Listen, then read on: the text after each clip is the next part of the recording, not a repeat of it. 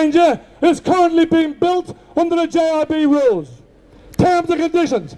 The monuments in London we see today, the NatWest Tower, the Swiss Re, the Heron Tower, built under the JIB rules, terms and conditions. But Mace, yes, Mace, and this is here to you, Steve Pycroft, CEO of Mace, who is engaging Tommy Clark's, the electrical contractor, one of the renegade contractors who is determined to go forward and rip the bastard heart out of this industry and destroy the apprenticeships coming through and the future of our industry.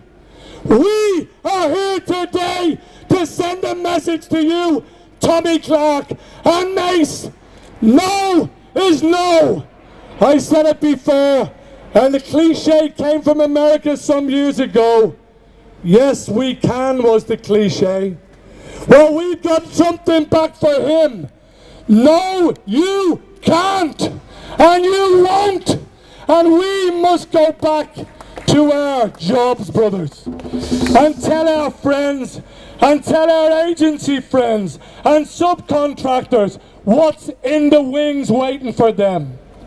Because there will be no peace in this industry while these men forge ahead with these terrible, disastrous consequences for our industry. It's breaking my heart as much as we are trying that we're not getting the message out to the private sector in construction. But we must be carry on and determined to oversee and get rid of this destructive agreement and get these people back to the table and talking sensibly to this union. I need every one of you to get behind this union as we have now the rank and file. Forge this unity and oversee what is a great agreement. Let's better it. Let's root out the cowboy builders, not join them and destroy them and make better for our children and go forward with a proud and proud industry together.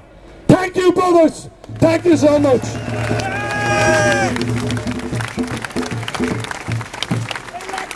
Thanks very much, Harry. Elected stewards, of course.